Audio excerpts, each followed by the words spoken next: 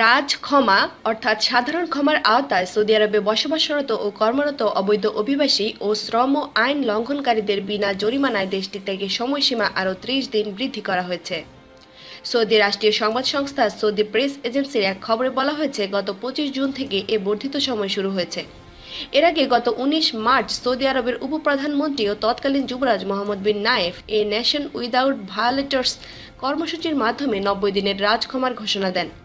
ওই ঘোষণায় বলা হয় রাজক্ষমার আওতায় উনিশ মার্চ থেকে পরবর্তী নব্বই দিনের মধ্যে সৌদিতে বসবাসরত ও কর্মরত অবৈধ শ্রমিক ও বিদেশিরা নিজ দেশে ফেরত যেতে পারবেন।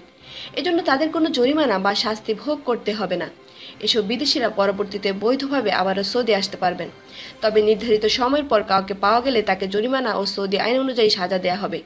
সৌদির national director of passport Sulaiman bin Abdul Aziz Al Yahya বলেছেন, সাধারণ ক্ষমার অধীনে এ বর্ধিত সময়ের সুবিধা সৌদিতে থাকা সব জাতিগোষ্ঠীর মানুষ পাবেন।